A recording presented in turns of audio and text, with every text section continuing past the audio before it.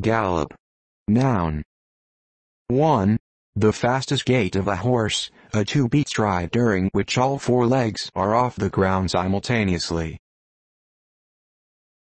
Gallop. Verb. 1. Intransitive. Of a horse, etc., to run at a gallop. For example, the horse galloped past the finishing line.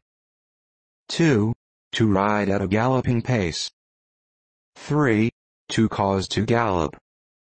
For example, to gallop a horse. 4. To make electrical or other utility lines sway and or move up and down violently, usually due to a combination of high winds and ice accrual on the lines. 5. To run very fast. 6. Figuratively, to go rapidly or carelessly, as in making a hasty examination.